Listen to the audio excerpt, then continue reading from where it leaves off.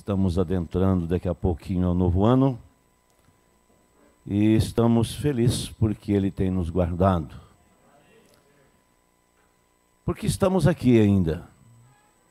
Porque, como estamos aqui, é porque ainda temos algo a fazer aqui. Quando encerrar o tempo, nós vamos para a nossa herança, né? Para o nosso verdadeiro lar.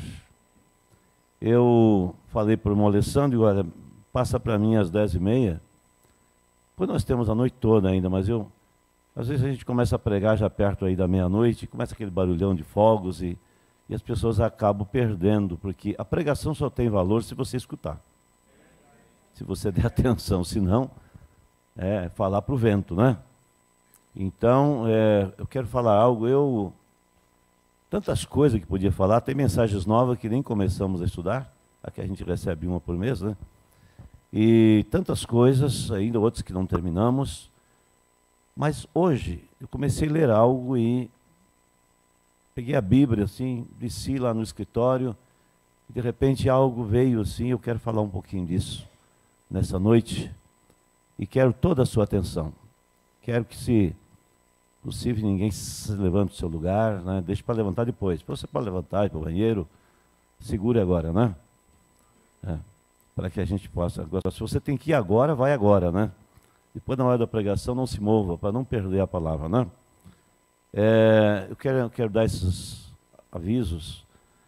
Nós não vamos ter a Santa Ceia hoje, na virada do ano. Vamos ter a Santa Ceia normal no próximo domingo. E, e, sábado será em Nova Petrópolis. E domingo aqui, então, normal, culto às 18 horas, né? E de manhã nós vamos ter a eleição aqui dos diáconos, né? E da, dire, da diretoria, não, da, da administração. Então, que ninguém falte, né? Que os diáconos da administração estejam todos aqui. E toda a igreja também, é claro, né? Para que possamos né, ter a eleição aqui dos diáconos e da, da, da administração. É, também lembrando, se eu creio que os irmãos devem estar, alguém, pelo menos em, em Pelotas, deve estar escutando. Nós pretendia estar esse mês lá, não consegui. Mas no segundo domingo, então, quando a ceia aqui, nós vamos estar com os irmãos ali em Pelotas. E depois nós vamos estar ali com o irmão Daniel, os irmãos ali em Caçapava, né? É, uma coisa, até o, o, o Alessandro falou aqui sobre a irmã Maurília, o irmão Antônio, que dá né, da luta, né? O problema com o filho, né, que levou oito tiros, né? E está vivo. Está né, tá ali na UTI, mas está vivo, né? Queremos que vai sair dessa e que saia para melhor, né? Para tudo ser melhor, né? É, eu gostaria de lembrar, eu quero que vocês não esqueçam, e principalmente os diáconos não esqueçam, eu sei que é uma família pobre, ganha o salário mínimo, e uma hora dessas estão aí, né, correndo por causa do filho, no hospital. Vamos dedicar alguma coisinha da nossa parte aí, uma oferta para eles. Então, na hora da, na hora da saída ali, não esquecer, você Cada um já lembra, eu vou dedicar isso aqui para eles. Será de ajuda, né? Será um, tudo que você der, pouquinho que você der, não vai fazer falta e vai ajudar eles nessa hora difícil, né? Então eu deixo com os irmãos aí essa lembrança e não, não esquecer, aqui o culto vai mais vai longe, né? Parece que vai de madrugada aqui, mas vamos lembrar então desta parte, né? É, eu estou com essa Bíblia aqui. Primeiro, lembrando, eu estou com esse livro, livro, aqui. Isso aqui é um livro de, de citações. É, até onde eu sei se eu tenho, acho que em, em, espanhol, né? Eu nem sei quem é que fez. Sei que está em espanhol. Tem muitos assuntos do irmão Brano aqui, tá? quase todas as mensagens. Eu não vou trazer uma doutrina aqui, mas vou pegar um assunto importante para nós aqui tomando aqui do livro de cita, né? Livro de citações. Uh, eu estou com essa Bíblia, que, que eu já mostrei para os irmãos outro tempo, faz tempo que eu tenho ela. é edição de estudo de 400 anos atrás. Claro que certamente eles renovaram o, o português, tem que a, a, língua com o tempo muda algumas palavras, né? mas ela é uma Bíblia de 1611, essa edição King James, né? Uma Bíblia que o Brana fala nela, inclusive, nas mensagens, que é pegado, basado também na Bíblia, na Bíblia hebraica, né? No hebraico. Mas eu queria mostrar algo aqui. Malaquias 4. Eu, eu já tinha, acho que já, já falei aqui, mas faz tempo. É, porque está sublinhado aqui. É, você encontra muitos dizendo que Malaquias 4, ah, os que realmente não têm entendimento, dizem assim, ó, Malaquias 4 é João Batista, né? A gente sabe que João Batista é em Malaquias 3, né? A voz que clama no deserto. Malaquias 4 e antes do grande e terrível dia do Senhor. Mas o escritor dessa Bíblia, King James, no rodapé, porque ela é uma Bíblia de estudo, veja o que ele diz aqui sobre esse capítulo 4 né, de Malaquias. Né, quando foi escrito lá há 400 anos atrás. Né? A Bíblia é, é King James diz aqui, ó. É, e derramarei. É, e a derradeira profecia do Antigo Testamento proclama uma palavra de esperança para o futuro dos crentes de todos os povos, culturas e nações. Prediz o retorno de Elias. É, o, o escritor da Bíblia, King James, diz isso. Prediz o retorno de Elias que foi levado ao céu vivo, o que foi levado vivo ao céu, né?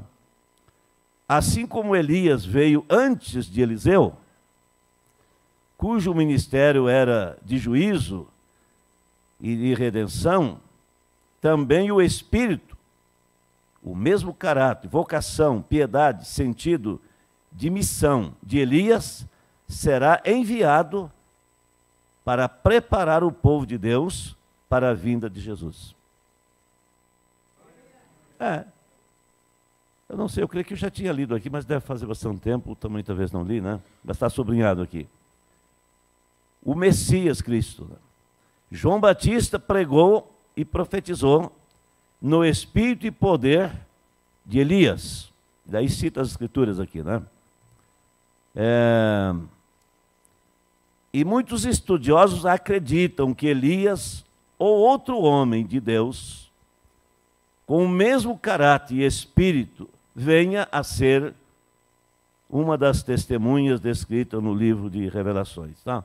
Ali nós sabemos que já é Moisés Elias para Israel, porque não tinha esse entendimento, talvez, disso aqui. Mas ele logo diz aqui: logo antes de sobrevir o grande e terrível dia do Senhor, e a pregação de Elias, bem como a de todos os arautos do Senhor, que se seguirão a história, buscarão a sensibilizar os corações e mentes é, empedernidas pelo pecado, pelo inimigo das, das nossas almas. Então, mostrando que a, a mensagem de Elias seria para isso antes do grande e terrível dia do Senhor.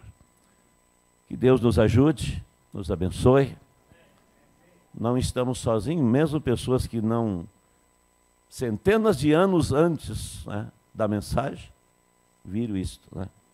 Eu já disse para vocês,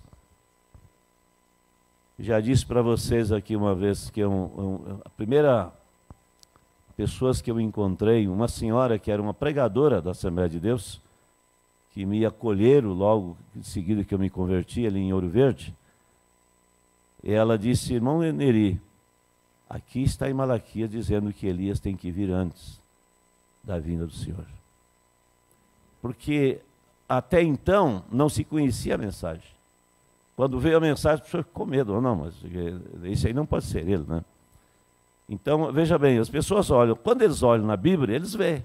Mas depois eles têm medo porque não vêm da igreja e tal, né? Mas aqui está eles colocando no, na Bíblia de estudo que Elias tem que vir antes do grande e terrível dia do Senhor. Vamos nos colocar de pé. e vamos ler aqui. Vamos ler aqui Isaías capítulo 4.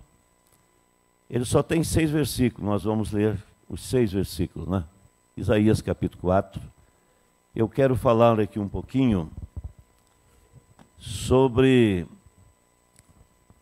é, o dia do retorno, seja, é, retornando realmente, ou seja, a preparação para esperar o Senhor. Né? Nós vamos ler aqui, vou tirar o casaco que está um pouquinho quente aqui, né?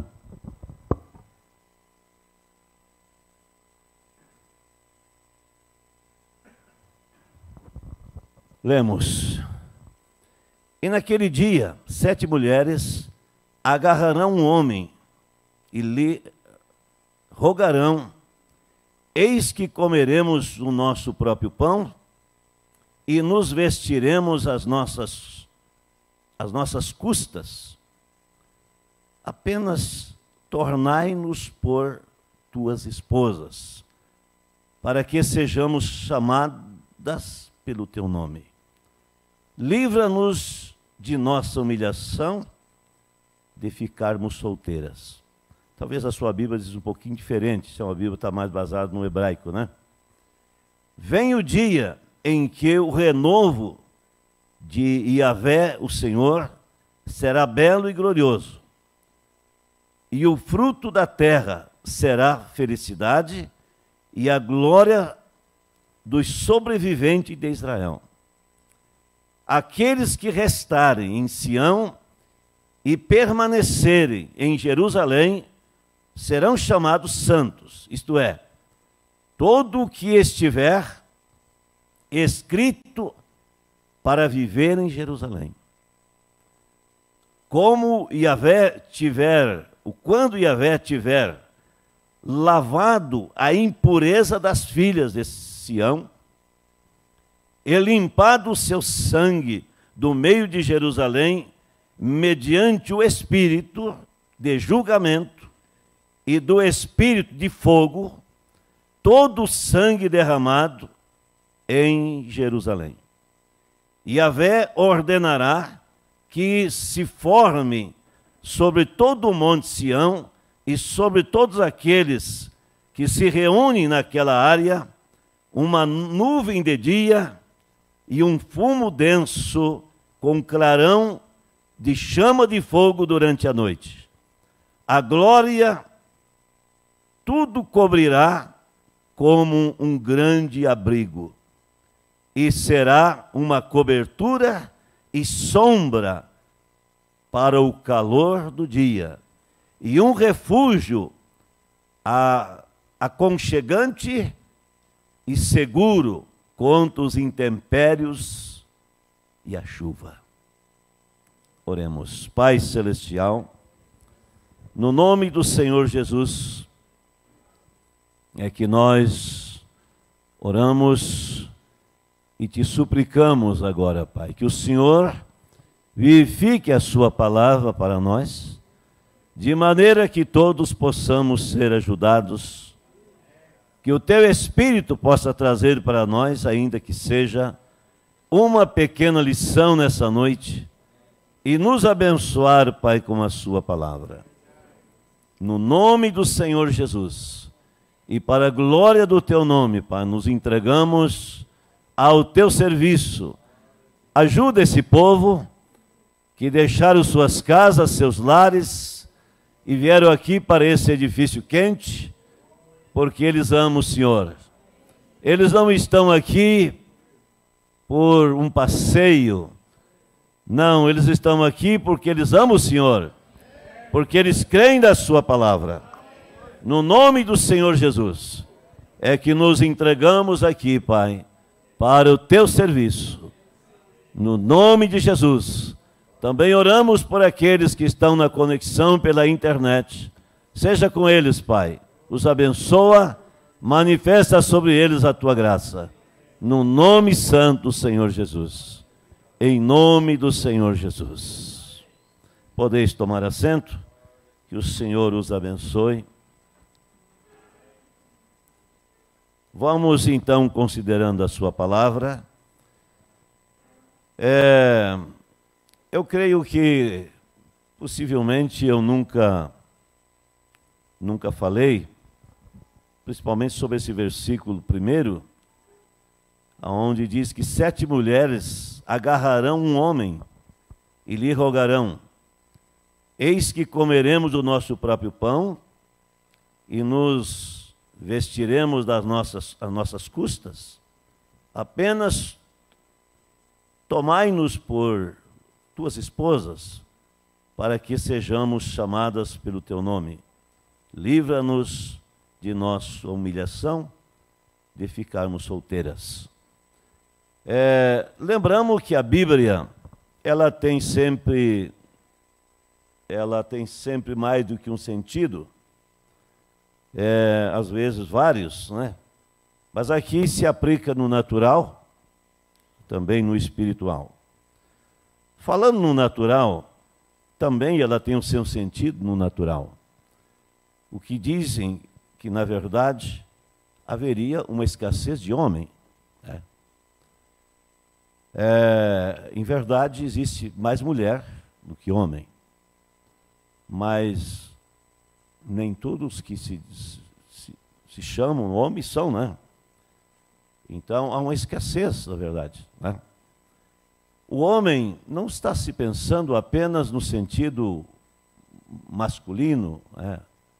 sexo masculino, mas está pensando naquele que foi criado à imagem e semelhança de Deus. Então, o que tem levado as mulheres né, a esta. Aqui mostra que essas mulheres, era para o dia de hoje, porque no tempo passado, as mulheres não tinham independência financeira. Isso, essa independência financeira somente tem surgido há poucos anos, uns anos para cá, né? É, do tempo que eu era novo, ainda não existia isso, né? Não tinha, tava, existia aquelas, algumas, né, alguns prenúncio, né, de, da, da, da, da, que chamava a, a liberdade feminina, as feministas, né?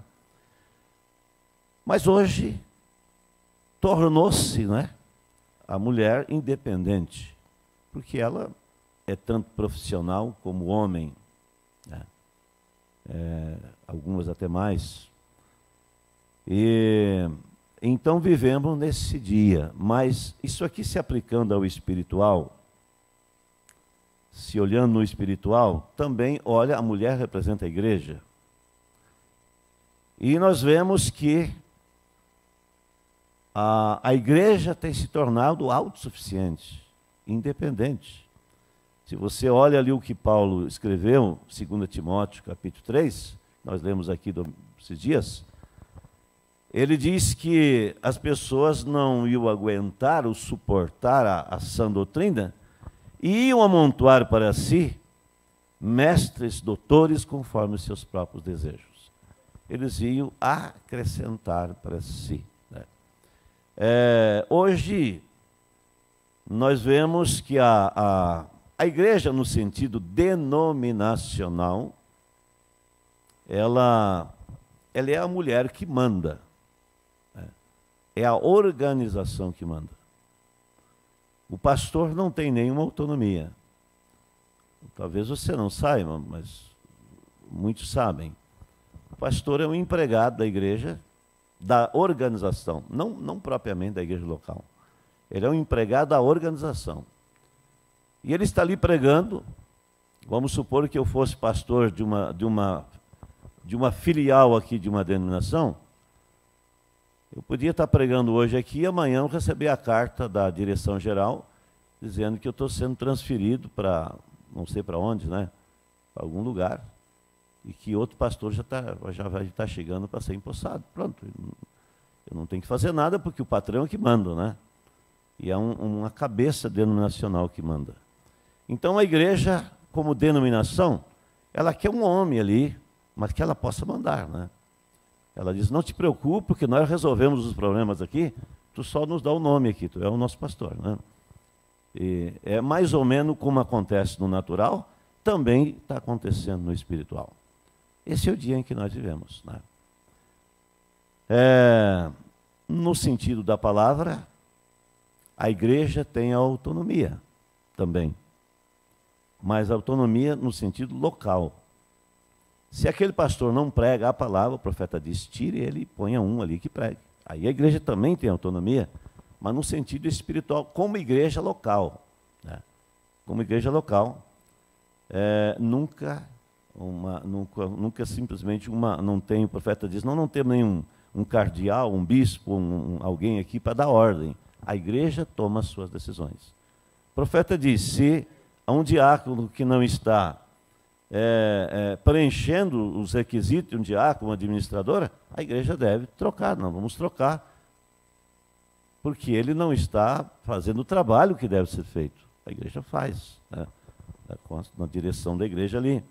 Mas o pastor está ali como líder espiritual. Se ele sai fora da palavra, então sim, a igreja deve agir. E a igreja, evidentemente, tem o corpo de diáconos, administradores, que o representam e toma essa decisão, se o pastor não está realmente preenchendo os requisitos. Mas deixando então essa parte, então diz que vem o dia de um renovo. É isto que nós queremos falar um pouquinho, apenas eu quis falar um pouquinho desse primeiro versículo. Né? Isso é, a Bíblia diz aqui: os que escaparem, os que escaparem, os que sobrarem, serão chamados santos. Aleluia. Aqui vem. Vem o dia do renovo de Yahvé, o Senhor, e será belo e glorioso.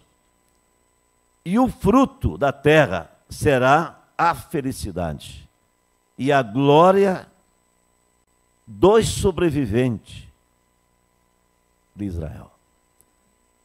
Aleluia. Quando fala Israel, a mesma escritura que fala para Israel, está falando para a igreja. Israel foi tirado fora, porque Deus não trabalha com dois povos ao mesmo tempo.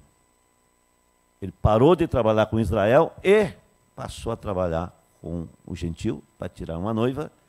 Então essa escritura se aplica perfeitamente a nós hoje, como Deus também salvará o remanescente de Israel no final. Mas agora há um, um, um fruto que sobra, mas o que me chama a atenção é: será grande a felicidade. Imagine você, eu tenho que segurar a emoção só em pensar isso. Hoje nós estamos aqui numa batalha, lutas, problemas aqui, problema dali, problema na família, problema entre irmãos e tanta coisa, mas ali termina né, tudo. Aqui você tem que pregar e forçar e dizer: olha, irmão, escuta, não perca a palavra. Não vai, não vai precisar mais pregação ali. Nós só vamos adorar. Todos estarão ao mesmo nível ali, ao mesmo entendimento. Mas então ele segue dizendo: aqueles que restarem, verso 3: aqueles que restarem serão chamados santos isto é, todo o que estiver escrito para viver em Jerusalém. Eu creio que eu estou. Você crê que você está? Mas há uma guerra. Há uma guerra e muitos estão morrendo. E não é morte física. Morte física seria uma felicidade. Morrer salvo. Mas é morte espiritual. Existe uma batalha de todos os lados.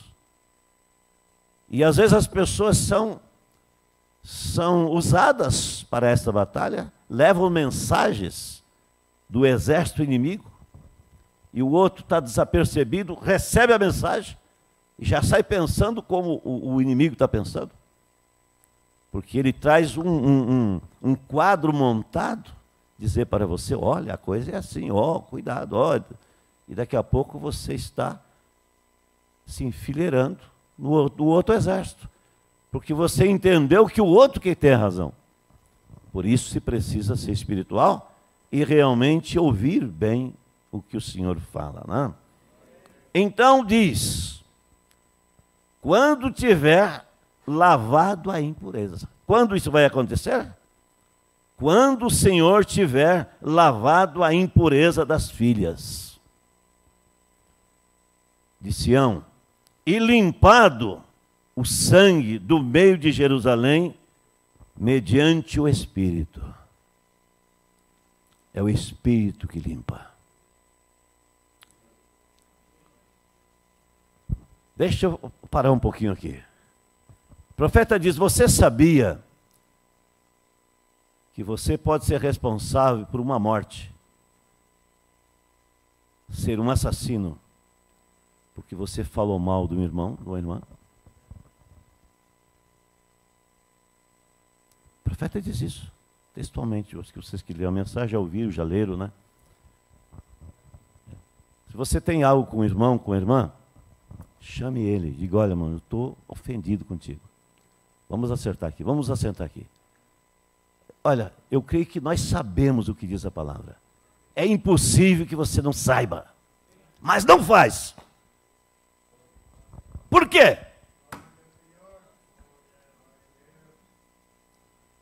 Por que não faz? É impossível que você já não, não leu, já não viu aqui do púlpito Mateus 18 e 15 em diante. Se um irmão tem algo contra ti, vai tu só ele só. Senta com ele, conversa.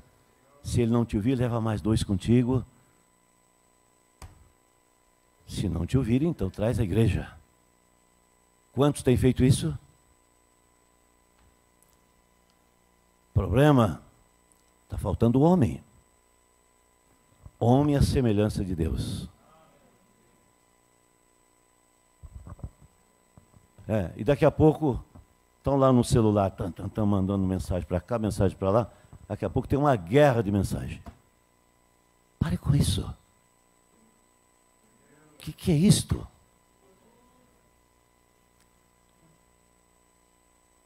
Vamos dizer que nós não sabemos o que, que a Bíblia diz.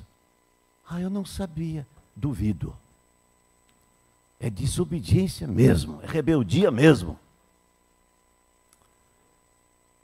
O profeta diz: Você nunca vencerá um espírito errado com, com, com discussões. Você nunca vencerá Satanás com discussão. Não. Jamais se foi vencido alguma coisa do profeta com discussões. Ainda os cristãos fazem isso. Não só faz discussão, eles fofoqueiam.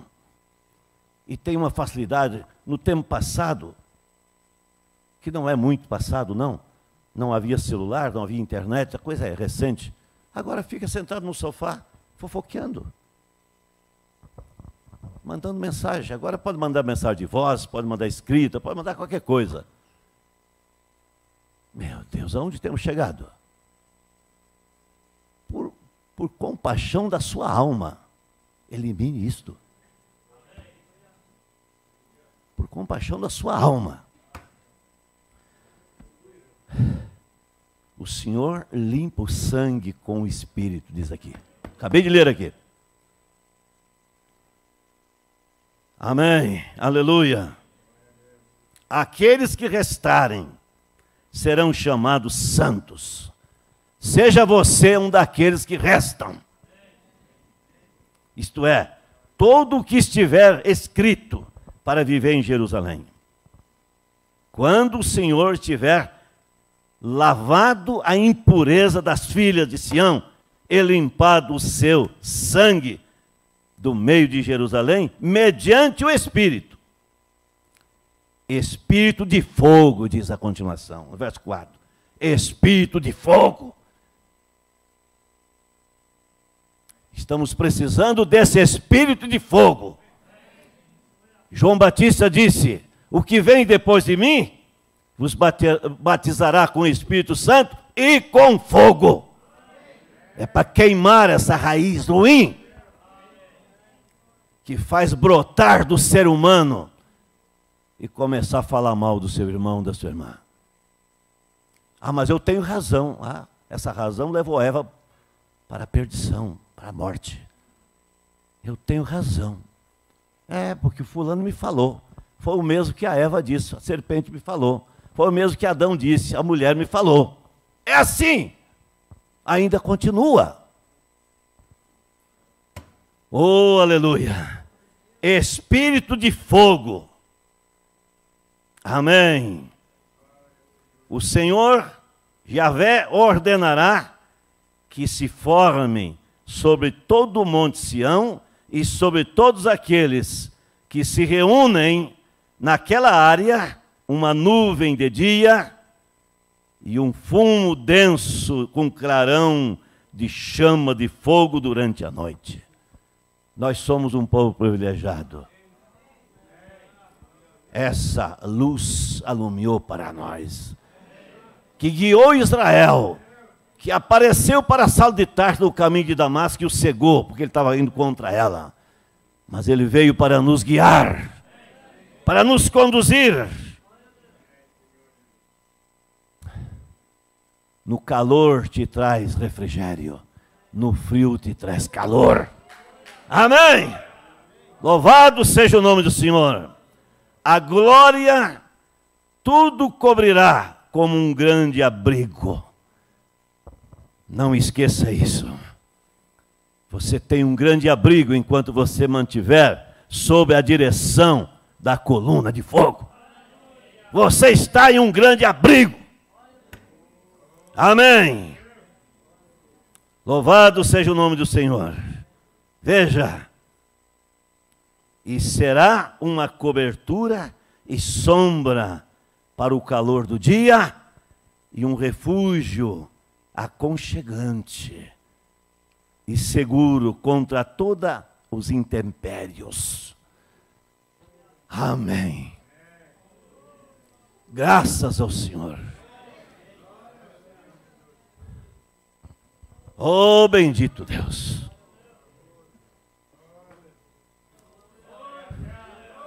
Eu me emociono ao pensar no ano 70. Chegou nas minhas mãos a sete eras da igreja, que foi traduzida pelo nosso saudoso irmão Martins. Lá no mato. Você acha que foi uma causalidade? Não. Eu apenas estava aprendendo a ler. Fazia poucos meses que eu tinha pegado uma Bíblia na mão, como um analfabeto. E eu era bem analfabeto, porque nem falar sabia direito. Falava que nem um índio lá no mato mesmo, porque não tinha contato com a civilização. Falava tudo errado. Mas eu decidi buscar uma Bíblia, porque me disseram, eu vi quando era pequeno que existia esse livro, que era a palavra de Deus. Ah, e eu a encontrei. Já falei isso para vocês. Vim em Caxias, no ano 69, e encontrei a Bíblia. Com meu avô, velho, 80, mais de 80 anos já. Comprei dele a Bíblia. Ele não queria. Tinha dificuldade até para ler mesmo. Ele era um homem que lia muito, mas ele já não tinha, tinha dificuldade para ler. Eu levei para lá. E aqui estou com ela. Mas não foi só isso. Menos de um ano depois estava chegando lá o Oswaldo Macedo, o irmão Oswaldo Macedo, que já falei muitas vezes aqui, com aquelas sete eras para mim. Para que que ele pegou? Ele não queria. Ele disse, ele disse, me disseram que esse livro fala da segunda vinda de Cristo, mas eu não quero. Eu paguei dois cruzeiros cada um, diz ele. Ah, me dá para cá. Paguei para ele. E fiquei com os livros. Eu não sabia do que se tratava. Eu via coluna de fogo ali, eu vi um, falar de um profeta, porque eu estava lendo com dificuldade, eu estava aprendendo a ler. Mas eu disse, mas é um profeta de Deus. Estava faceiro, que maravilha. Mostrei para o presbítero da igreja, ele disse, mas é maravilhoso isso aqui, não é? Ah, isso aqui é bom. Vamos levar para o pastor. O pastor morava em Canela. Quando chegou na zona do pastor, o pastor já conhecia, já tinha ouvido falar do irmão Brana. Não, esse homem aí batiza em nome de Jesus. Esse homem aí diz que Jesus é Deus. Eu fiquei assim, já achei estranho aquilo. Mas eu não entendia nada. Mas daí eu vim para Caxias um ano depois. 72 eu estava em Caxias. Ah, daí eu vi pelo rádio. Opa, tem gente que crê nessa mensagem. Estamos aqui pela graça do Senhor, mas eu não vou me deter muito, porque eu quero ler aqui para vocês o que diz o nosso profeta. Aleluia. Eu vou começar bem no início do, do, do livro de Citas aqui. Está na mensagem a ressurreição de Lázaro.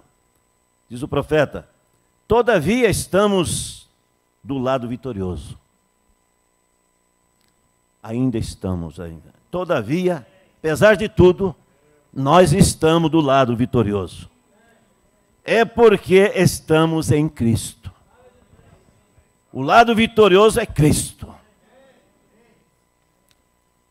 Você só está do lado vitorioso porque você está com Cristo.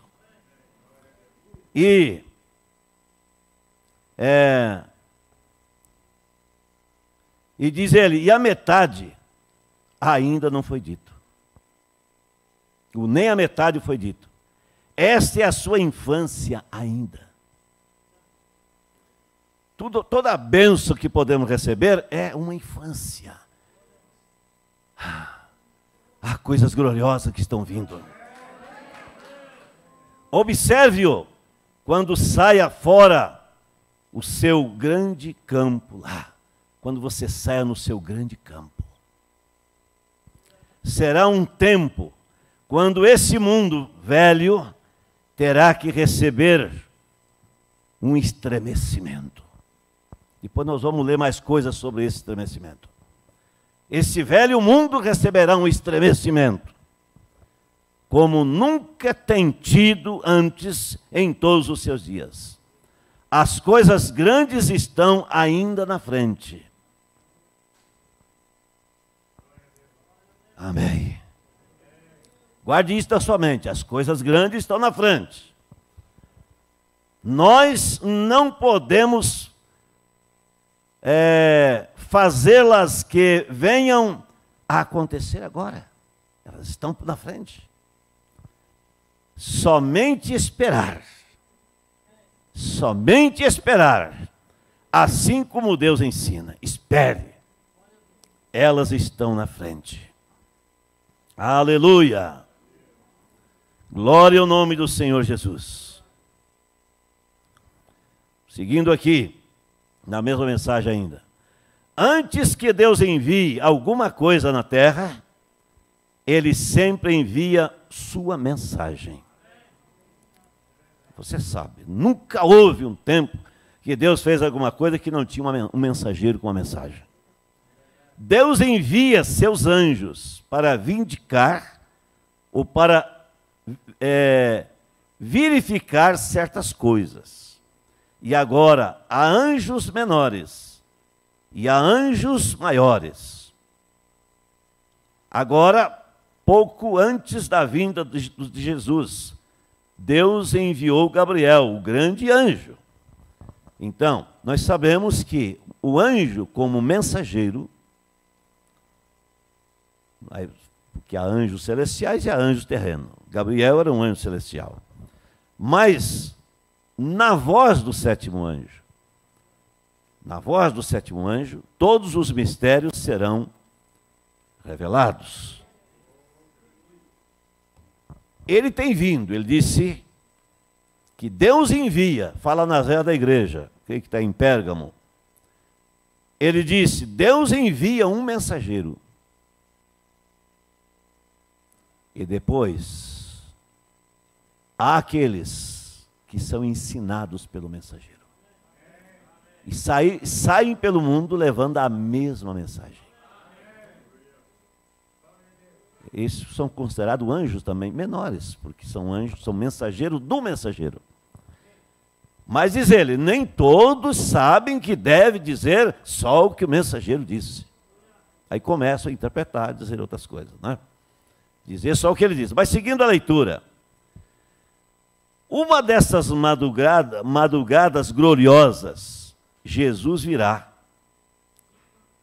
e tudo e todo pesar será tirado. É isso que eu espero. Lágrimas serão enxugadas.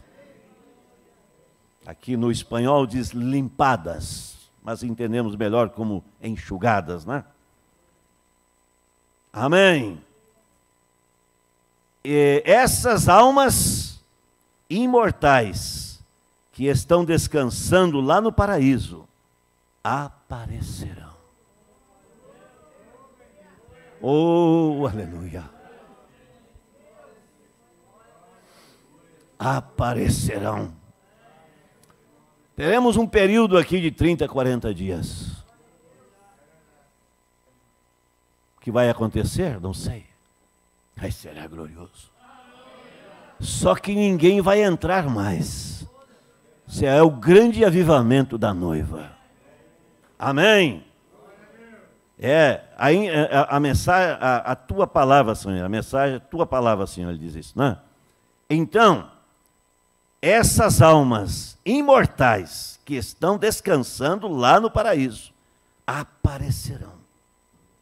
Como Abraão, Isaac e Jacó, nós nos, é, nós nos apareceremos aqui na terra quer dizer, fala um caso como uh, nosso profeta, como ele já foi, né? Aqui na terra, e então nos encontraremos aqui e seremos arrebatados juntos para encontrar o Senhor nos ares.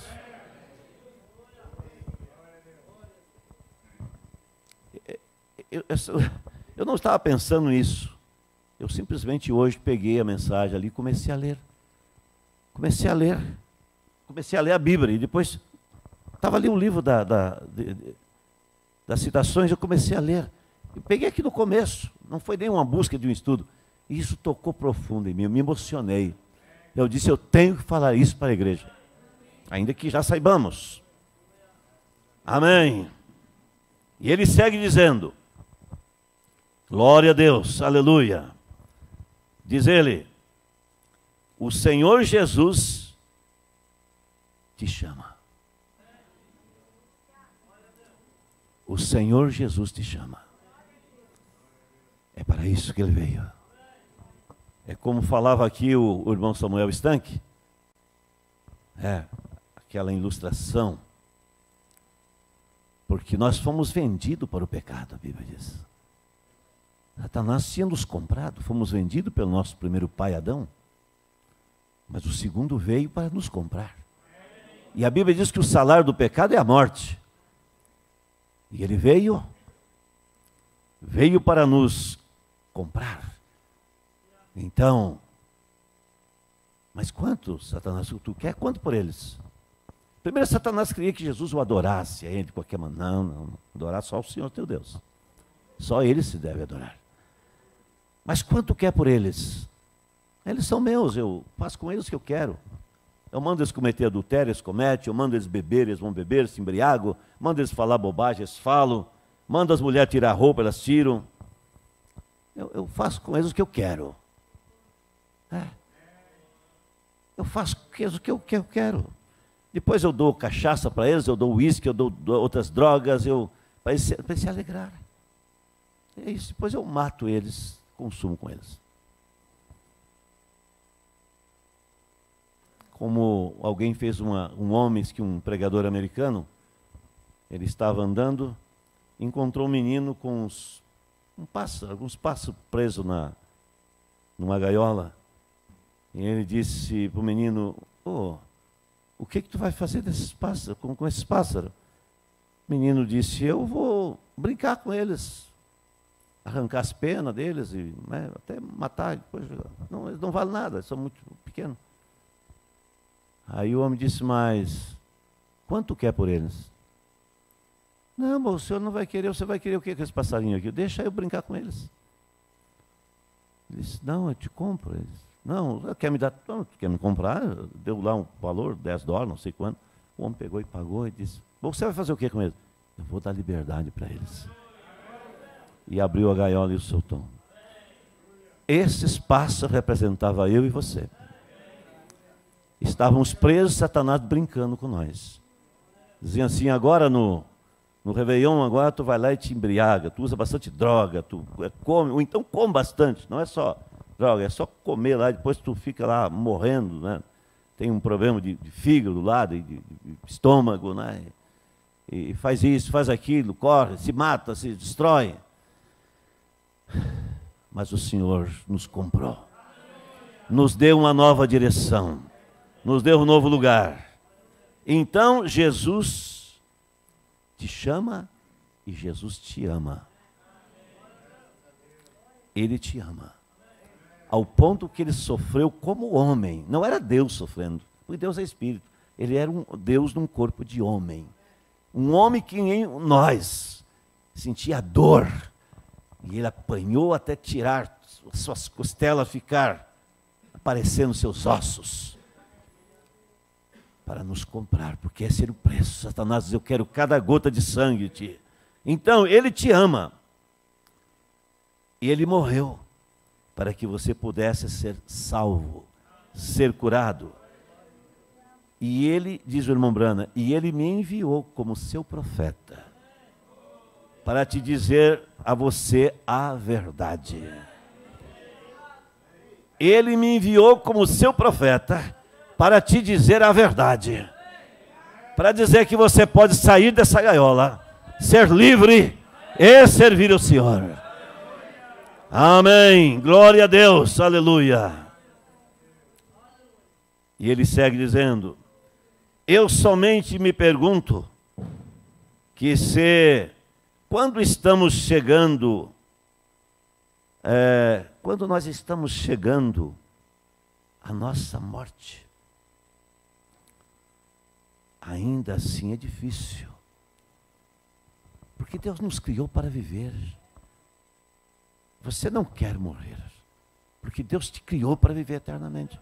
Mas esse, esse é, é, é assim como você vai no médico e ele te diz: você vai ter que dormir um pouquinho agora, fazer uma anestesia. Você não vai ver nada, não vai sentir nada. É assim a morte. Aquela martelada que você levou na unha dói muito mais do que a morte. Simplesmente sente que você vai adormecendo. E como cristãos, o profeta, você já vai vendo do outro lado. Como pecador, o pecador vê demônios. Por isso o profeta observava isso. Ele observava os cristãos morrerem, eles morriam felizes. E eles observavam o pecador morrer, o pecador gritava, gemia, apavorado, porque ele começa a também ver do outro lado. Eu até me arrepia, né? Quando está chegando a morte, ele começa a ver o outro lado. E ele vê demônios horríveis vindo ao seu encontro. Mas a, a irmã, a irmã Hope, já estava, tinha partido. E a irmã Branda começou a chamar por ela, chamar por ela. E de repente ela voltou assim. E disse: Ah, eu estava num lugar tão belo. Eu estava entre pessoas maravilhosas. Eu estava andando por um, algo tão lindo, florestas, árvores, jardins, pássaros voando. Eles estavam me conduzindo e eu ouvi tua voz.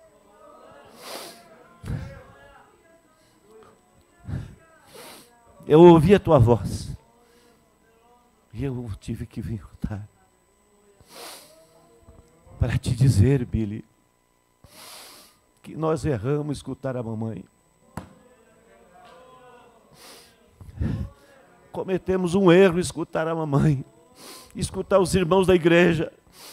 Tu deveria ter ido com aquelas pessoas pregar, com aqueles pentecostais. Que disse, mas não te preocupe. É maravilhoso, tu nem sabe, tu tens pregado sobre isso, mas tu nem sabe o que é isso. Amém. Então, ainda a morte é difícil. Jesus pelejou contra ela. Quando estava chegando a hora de morrer, ele ia para o Calvário, ele estava no Getsemane, e ele disse: Ó oh, Pai, é possível passar de mim isso? Mas se ele não tivesse morrido, nós estaríamos perdidos nós estaríamos perdidos. mas ele teve que morrer por nós. Ele disse: Será possível? Será possível, Pai, passar esse cálice em que eu beba? Que quando estamos chegando, sim, é, sem demora ao fim do caminho, sabemos que já está se encerrando. Eu digo para vocês, quando eu era um jovem, o irmão Enio, o irmão Valme, minha esposa, que era minha noiva, lembro-se disso. Eu estive deitado numa cama por mais de 10 dias, 12 dias. Depois eu, um, creio que até 10 dias, depois já comecei a melhorar. Mas eu nem, nem enxergava direito as pessoas. As pessoas via como vultos. Eu não conseguia me virar na cama. O médico tinha me desenganado. Mas não era a hora. Estou aqui. Amém. Eu observei a minha esposa quando ela se foi. E eu me pergunto: quando nós chegarmos ao fim do caminho, ali, se Deus somente não, diz, não dissera a mamãe, algum deles, se Deus não disser, não disser para a mamãe ou alguns deles, do outro lado.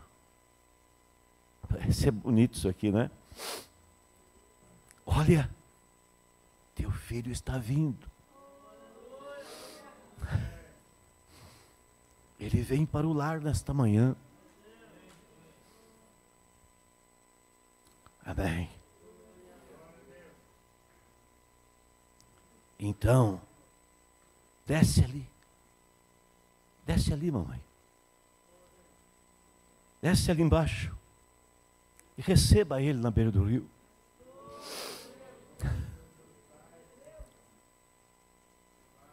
É isto, meus amados. Isto é simplesmente glorioso. Eu tenho uma mamãe lá. E eu creio que ela me encontrará. Se não na ressurreição, quando eu partir. Tive apenas 13 anos, ela me criou. Quando eu estava me tornando um adolescente, logo ela partiu. Mas ela era minha amiga. Ela conversava comigo, combinava as coisas comigo. Eu não sei porquê. Se meu pai não tinha dinheiro, o meu pai era muito seguro. Ele, ele era um homem que nunca queria ser pegado sem um dinheirinho. Ele guardava o dinheiro e às vezes até dava juros lá para os amigos e perdia, né? Mas ela disse, ela queria, ela já estava doente, mas ela estava ainda caminhando, se governando. Ela gostava de farinha de mandioca. Veja bem, uma coisa tão, tão barata, né? Eu tinha ganhado uns, uns troquinhos da minha madrinha, que era na igreja católica, minha tia, irmã dela. E ela disse, tu me empresta esse, esses troquinhos? Quer comprar um quilo de farinha? Eu não sei o que, que ela queria fazer com a farinha, mas era para ela comer, porque ela estava... Problema sério já de enfermidade. Depois eu vou vender uns ovos e te pago. E ela adoeceu e não conseguiu. Uns dias antes dela partir, ela disse: Eu vou te pagar.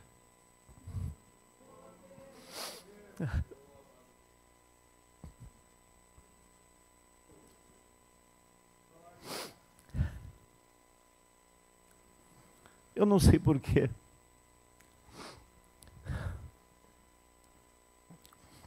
Desculpe minha emoção. Não sei por que não me esqueci disso.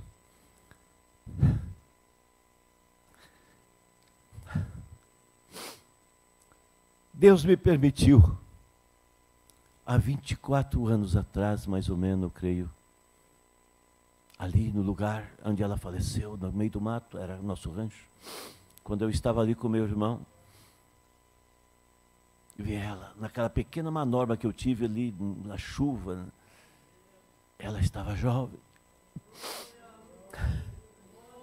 Por isso eu creio que a encontrarei jovem.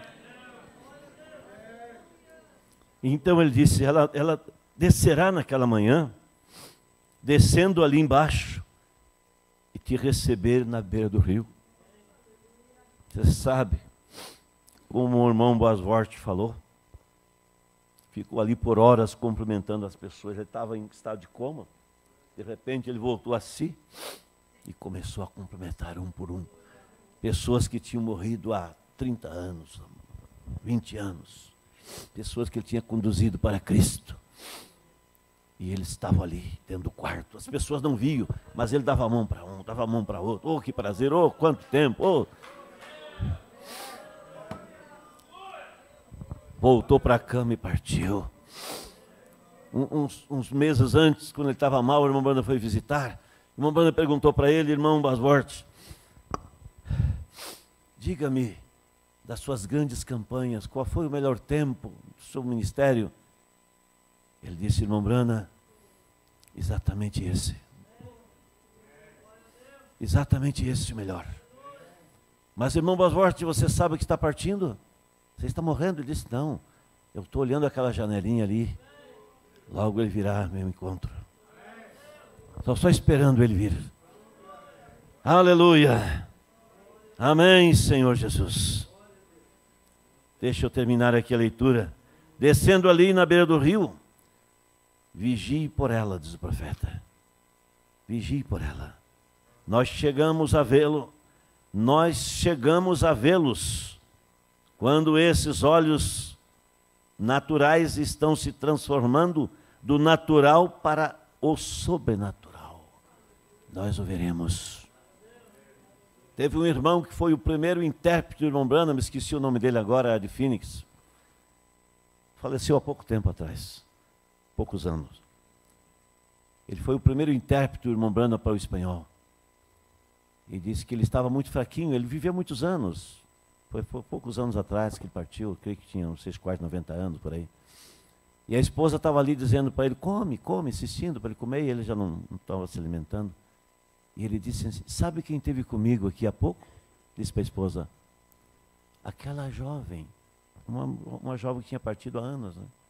Aquela menina esteve aqui me visitando. Depois disse, e o irmão Branda depois também esteve aqui.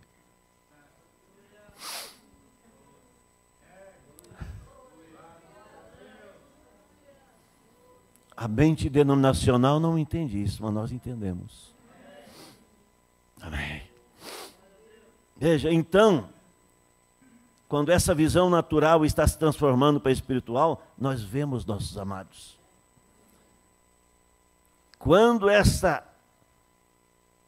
quando está é, contagiando-nos, sim, a, a, a, a, neblina somente, ou seja, aquela névoa desapareceria, e então nós podemos olhar. Isto é, vai embaçando nossos olhos para aqui, mas vamos vendo além. Então podemos ver do outro lado e vê-los descendo o rio. Eu espero que assim seja. Eu não sei. Eu não poderia dizer que é verdade. Eu não sei. Porém, eu tenho visto muitas vezes. Aleluia. Eu tenho visto muitas vezes. Mesmo tempo que eles não podem, mas eu tenho visto muitas vezes. Isto é simplesmente glorioso. Seguindo aqui, diz o profeta: um desses dias, cabelos brancos desaparecerão.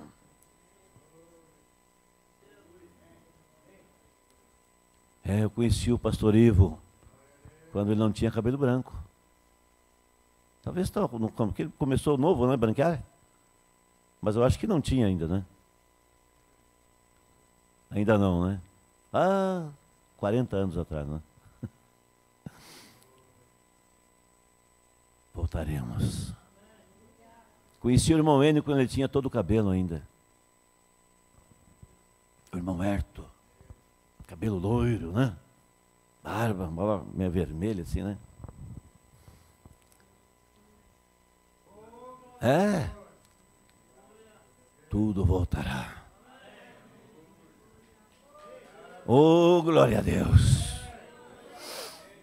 Simplesmente glorioso. Amém.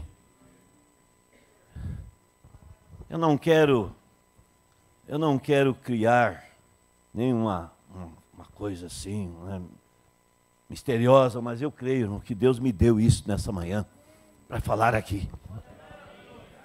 Eu nem sequer estava buscando, eu tinha outras coisas para falar. Mas eu peguei isso e não pude largar mais. Aleluia! Louvado seja o nome do Senhor Jesus. Então, diz ele, todos vocês que em Cristo têm renascido, ou seja, que têm renascido em Cristo, que algum desses dias, esse cabelo branco, grisalho, será mudado. As rugas do seu rosto desaparecerão. Não precisa fazer plástica. Vai vir, não precisa injetar nada ali dentro, sua pele. Voltará a ser um jovem moço e uma jovem donzela, outra vez, e viverá para sempre em Cristo Jesus. Eu posso eu pude é, é, apontar-lhes aonde Deus o provou na sua Bíblia. Ensinou em sombras e em tipos. E ele prometeu e jurou que o faria. Que, marav que maravilhoso. Então, faz-se a pergunta: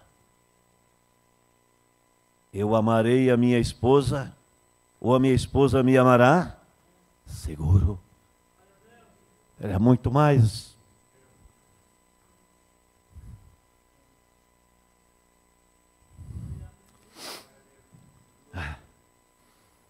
É aquilo que profeta Malaquias 4 diz: saltaremos com o bezerro do cevadouro.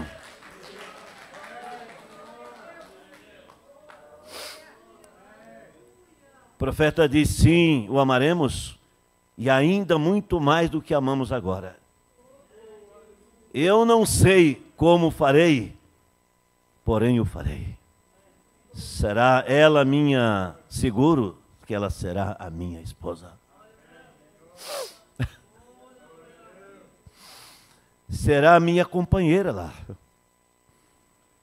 Ela não será, ela não terá crianças lá.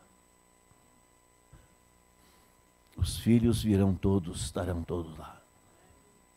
Pela palavra. Lá não vai ter, não, não vai nascer crianças. Nada. Porém, os meninos que temos aqui na terra estarão lá com nós. Amém. Eles estarão lá com nós. Oh, meu Deus. Você não está preocupado ali que vai ter que pagar o, o IPTU da sua casa? Vai ter que pagar a luz, vai ter que pagar a água, vai ter que fazer o rancho, vai ter mais não sei o quê, vai ter mais aquilo, não sei o quê, comprar remédio, não sei o que, não sei mais. Não.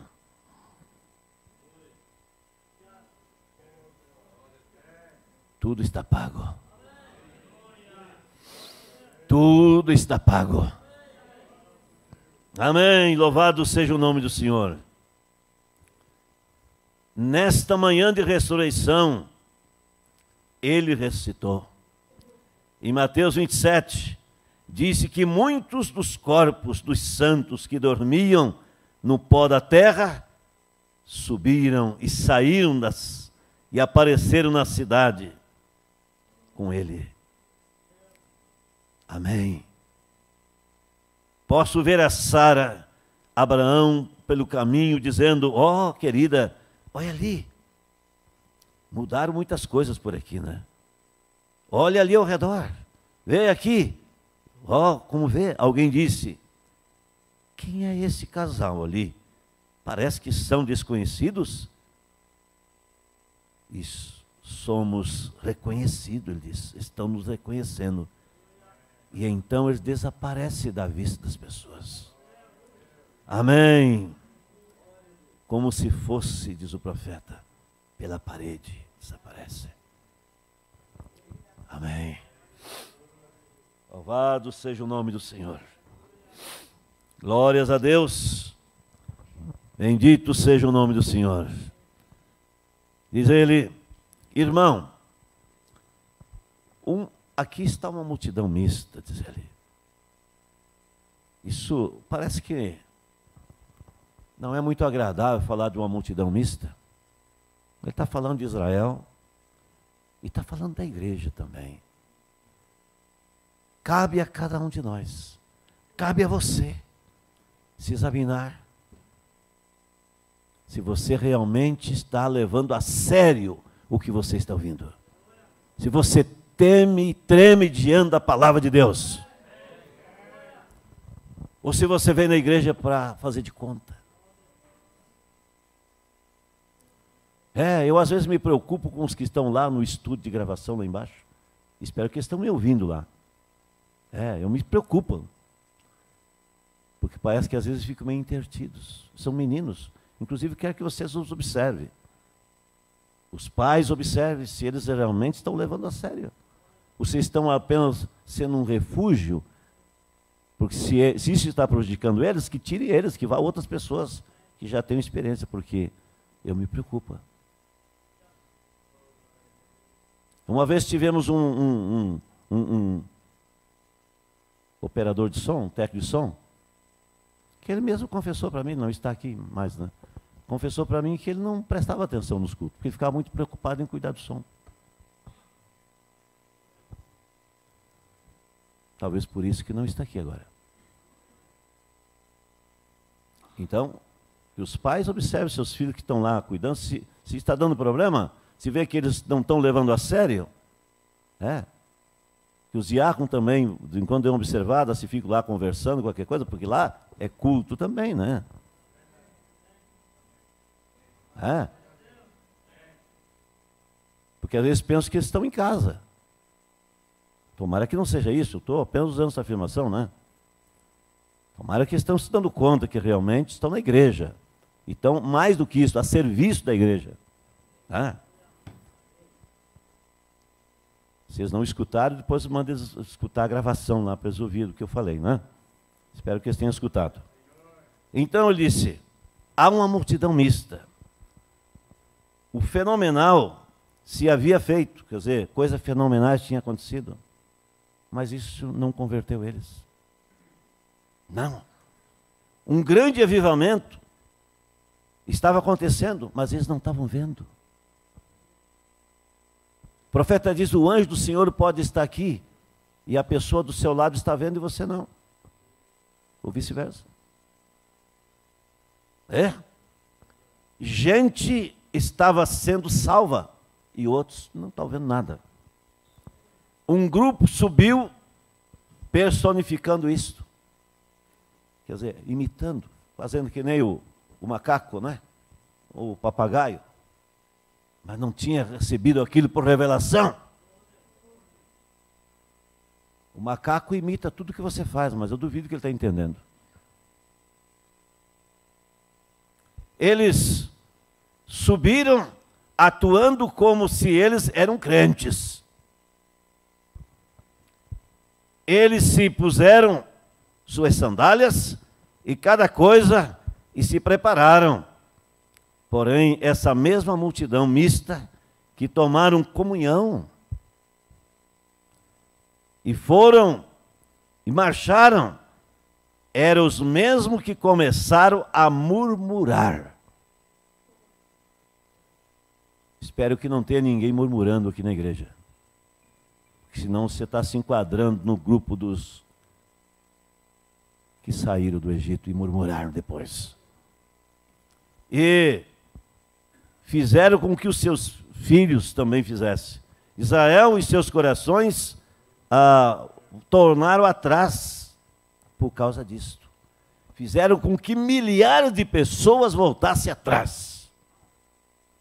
Dez homens, cabeça do, do, das suas tribos, foram ver a terra, testemunharam que era boa, mas disseram: não, não podemos entrar, e fizeram com que Israel desistisse e pereceram por causa deles profeta diz: Você ouve uma mentira e você é condenado por ela.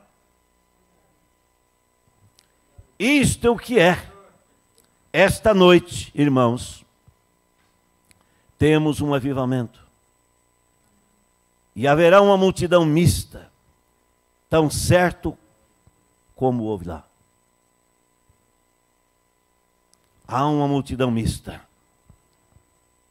Vamos já, mais uns minutinhos. Sei que eu tô, queria ter terminado antes, mas eu vou ter que terminar isso aqui. Né? Só mais um pouquinho. Agora vamos chegar em algo mais, mais profundo um pouquinho. Fé de rapto. Fé de arrebatamento. Eu sinceramente creio que antes que a igreja possa ter o rapto, tem que ter fé de rapto.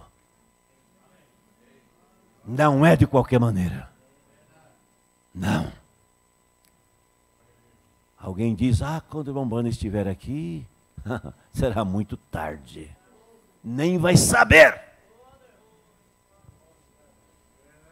Nós não podemos ter ainda fé para a cura divina, muito menos fé para rapto. Temos que ter uma fé que nos mude e vivifique esse corpo e seja levantado e eu creio que há uma igreja em caminho esta noite. Há uma igreja em caminho esta noite. Um poder do Deus divino, que o homem falará a palavra aqui e resplandecerá como um relâmpago. Amém. Uma igreja está saindo fora não uma psicologia, não um psicologista, não alguma dessas coisas compostas, fazer, em crer, forçar, porém uma real, uma verdadeira e genuína, ungida no Espírito Santo, chamada para fora. Isso que eu li a escritura de Isaías, limpará com o Espírito Santo e fogo. Amém. Louvado seja o nome do Senhor. Então ele disse: coisas maiores estão por vir. Você crê isso? Amém. Isso aqui é o treinamento, é a preparação. Estamos sendo resgatados, estamos sendo libertados. Amém. Estamos perto desta coisa agora, irmão. Escutem esta noite. Eu creio que é no nome do Senhor que as coisas que temos feito são coisas pequenas. Ressurreição de mortos, cura de é, é, é, trazendo esquilos à vida, cego recebendo a visão, eles são coisas pequenas. Coisas pequenas e menores que as que Deus está preparando para fazer. Vê? Você vai ouvir de grandes coisas. Que Deus nos ajude. Amém. Agora diz o irmão Brana, alguém pode dizer assim, porventura, mas um cristão cheio do Espírito Santo, pode ele, pode ele ficar doente? Se você é nascido do Espírito de Deus e você é um cristão desse, desse tipo, né? Quer dizer, desse tipo, até que você se vai, ah, é, é, até que você se vai então e você é, é imortal com Deus, porque você é um cristão. Agora, então, como pode uma pessoa assim ficar nesse estado, nessa condição? Como ela pode ficar enferma? É, não é que às vezes nos perguntamos? Mas, Senhor, eu não estou te servindo. Como é que eu posso ficar enfermo? Eu creio que o cristão já tem a resposta, não é? Mas ele diz assim: porque o seu corpo ainda não está redimido. Você está num corpo velho. Por isso a Bíblia diz que ele vai se desfazer esse corpo. Segundo os Coríntios 5 diz: quando ele se desfizer, nós temos um celestial esperando. Sim, seu corpo ainda não foi redimido. Seu corpo não está redimido. Não importa que tão bom você seja, que tão santinho você seja, que pio, piodoso, pio você seja, que tanto do Espírito Santo você tenha, isto é somente sua alma.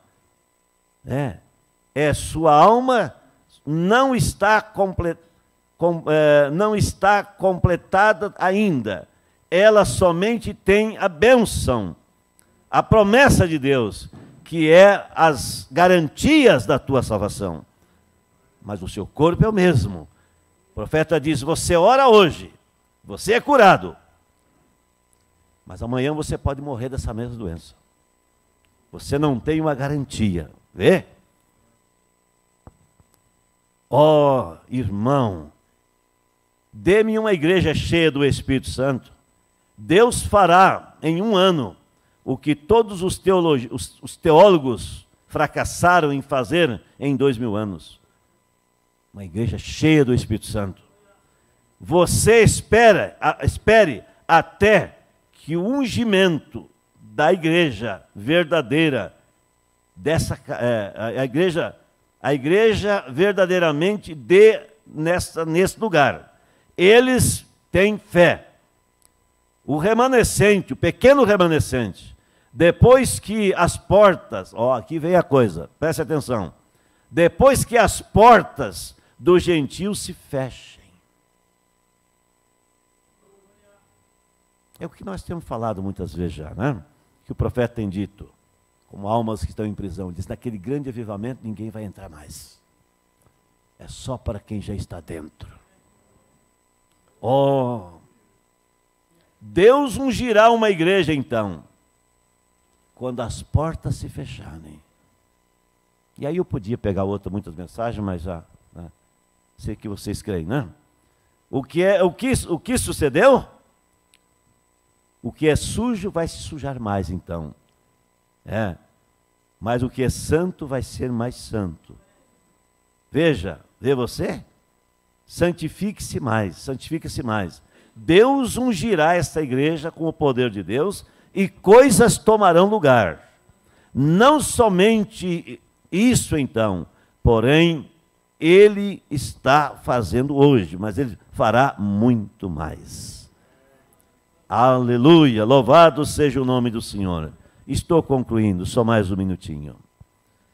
Você, o melhor, ele controla toda a natureza. Ele está falando do homem, o Adão, primeiro Adão. Ele foi dado as, nas mãos de Adão, tudo, para controlar toda a natureza. E quando Adão seja redimido outra vez, para, é, para com Deus, é, redimido outra vez, para, é, para com Deus na maneira que ele deve estar e ter fé em Deus ele o fará outra vez também. Amém. Quer dizer, tudo voltará ao seu lugar. Controle completo. Aleluia. Porém, o que eu penso que o Senhor vai fazer, esta mensagem tão rápida, essa mensagem tão rápida ao, ao mundo, é isto, que ele vai enviar seu poder, quer dizer, uma mensagem rápida, né? E demonstração do Espírito Santo que rodeará o mundo inteiro somente em um espaço de uns poucos dias. Na mensagem, Jesus Cristo é o mesmo. Ele pregou isso, falou isso, né? Em uns poucos dias, esse poder rodeará o mundo. Preparemos-nos para essa hora. Vivamos a palavra. Desprenda-se do mundo Amém. Aleluia. em uns poucos dias, eu creio que está chamando a sua igreja, reunindo as pessoas, juntando-as para esse grande evento que virá acontecer. Você crê no profeta? É, estamos sendo provados. Mas tudo está garantido. Há um poder que está vindo. Amém. Encerramos com isso aqui. Eu creio que está em seu caminho, que quando a igreja esteja tão envolvida em Cristo, o Espírito Santo, unidade, é, a, a, a coisa humana tão solta das coisas do mundo, quer dizer, a humanidade solta das coisas do mundo, ele somente se move no Espírito, vive no Espírito. É isso que Deus está buscando. Ando no Espírito. Então eles cumprem a lei de Cristo. Então o amor de Cristo no coração humano, movendo-se no Espírito Santo, essa grande igreja maravilhosa irá adiante com o poder da deidade, poder de Deus, porque a deidade será revelada em seres humanos. Deus em seres humanos, pelo Espírito Santo, trazendo, a, fazendo acontecer e o pensamento da sua própria mente. Amém? Quer dizer, você pensa a coisa certa e ela acontece. Não precisa você falar. Você pensa e acontece. Se realiza. Amém. Oh, eu estou ansioso por esta hora. Eu estou esperando esse momento. Isto é simplesmente glorioso. Essa hora chegando, aproximando-se. Pode ser agora, daqui a pouquinho. Você nota, irmãos? Eu, eu presenciei, os crentes mais velhos aqui presenciaram. Quando se via pipocando crente dessa mensagem para todo lado. Eu participei, participei na, na, na Colômbia de um, numa, só, num, só numa campanha que estiver lá, numa reunião, batizamos 30 e, ah, melhor, 135 numa só vez, mas teve mais que vieram depois, foi batizado depois. E tiveram, eu ajudei a batizar, o pastor, não foi da época, o pastor Ivo foi. O pastor só foi uma vez lá, né? Foi só uma vez, não foi em outra, outra ocasião. É, 135 pessoas numa vez, mas naquela mesma reunião outros vieram depois para batizar depois. E hoje você prega e lá mesmo também, eu perguntando para eles, a coisa está difícil também. Parece que a porta está se fechando. Estamos com o programa de rádio diário ali pregando a mensagem, procurando mostrar a palavra. As pessoas ouvem, mas eles não captam nada parece que não estão captando nada. Eu até sonhei uma noite dessa. Que eu tinha dois horários na, na rádio, que eu disse assim, olha, eu disse para o diretor da rádio, vamos ficar mais um pouquinho aí, depois a gente vai parar. Talvez está chegando a hora de parar, não sei, né? Mas estamos ali. Porque também pessoas se batizar não significa que elas estão sendo salvas. Para nós, sim. Nós devemos crer que estão sendo salvas. Mas elas só são salvas se elas receberem o Espírito Santo. Há pessoas que se batizam, ficam 10, 20 anos, 30 anos na igreja e nunca receberam o Espírito Santo. E por isso o mundo os puxa de volta e elas vão embora. Ou então uma doutrina falsa pega e elas se vão. Né? Que Deus nos ajude. Vamos nos colocar de pé? Aleluia. Vamos cantar o hino 335, eh, Igreja Universal.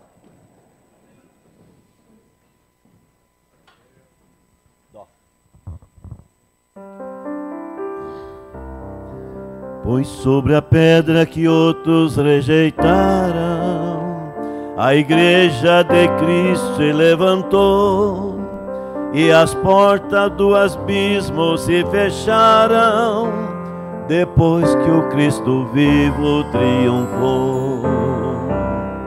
Tu és o Cristo, Filho do Deus vivo, viesse a tua noiva libertar, vencendo o inimigo audaz e altivo a salvação mandastes proclamar. A Igreja Universal tão gloriosa, da qual Deus é o sábio construtor, firmada tem suas bases poderosas na rocha eterna Cristo Salvador. Tu és o Cristo, Filho do Deus vivo viesse a tua noiva libertar, vencendo o inimigo audaz e altivo, a salvação mandastes proclamar. E nesse fundamento inabalável, triunfa e marcha a igreja de Jesus falando do poder incomparável do sangue que vertido foi na cruz. Tu és o Cristo, Filho do Deus vivo, e és uma noiva libertar, vencendo o inimigo audaz e altivo a salvação mandastes proclamar. Inclinemos nossas cabeças e oremos ao Senhor. Finalizando esse ano, tem um propósito na sua vida. Tanto a você que está aqui nessa noite, como aqueles que estão acompanhando pela internet. Tem uma posição. Não seja um crente manufaturado não seja um, imitador do cristianismo. Seja um real cristão. Tome sua posição. Deus não leva em conta porque você comete falhas, mas porque você deliberadamente rejeita a misericórdia de Deus, despreza, leva é, tem por, por nada, é, simplesmente pensa que é uma sociedade qualquer ali, que é um clube, não. Você está diante da palavra do Deus vivo. E se você quer mudança, precisa tomar posição por Deus. Precisa temer a Deus. Humilhar-se à presença do Senhor, entregar o seu caminho ao Senhor, e o mais ele fará. Se você deseja isto, levante a sua mão e creia. Diga: Senhor, estou aqui.